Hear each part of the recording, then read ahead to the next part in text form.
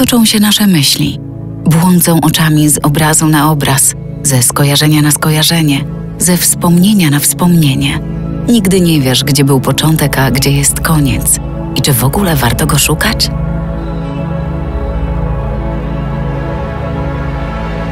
PKO Bank Polski. Nowoczesny bank, największy w kraju.